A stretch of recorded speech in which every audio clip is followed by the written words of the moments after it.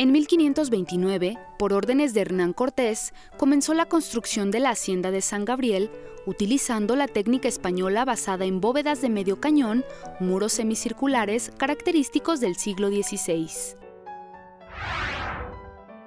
Después que los misioneros franciscanos se retiraron del convento en 1558, San Gabriel se convirtió en una plantación azucarera, que luego sería el más grande e importante ingenio de México. Durante la independencia de México, la hacienda de San Gabriel sirvió de refugio para Agustín de Iturbide y Vicente Guerrero. Posteriormente, en la época revolucionaria, el caudillo Emiliano Zapata la ocupó como cuartel general. La hacienda de San Gabriel se destacó por su ubicación, pues era el paso obligado de los viajeros que se dirigían o venían del sur y al paso del tiempo se ha transformado en hotel de lujo.